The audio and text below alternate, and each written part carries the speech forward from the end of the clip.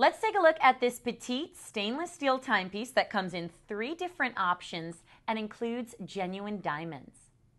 Now, based on what timepiece you choose, you're going to have a different color in the dial, but they all look the exact same. This one is done in pink, and you have 11 bezel set diamond hour markers, genuine diamonds, with a total carat weight of 8 points.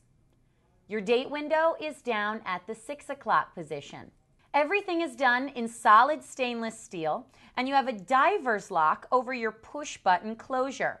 That opens up to, again, a solid stainless steel case back that reads 50 meters of water resistance.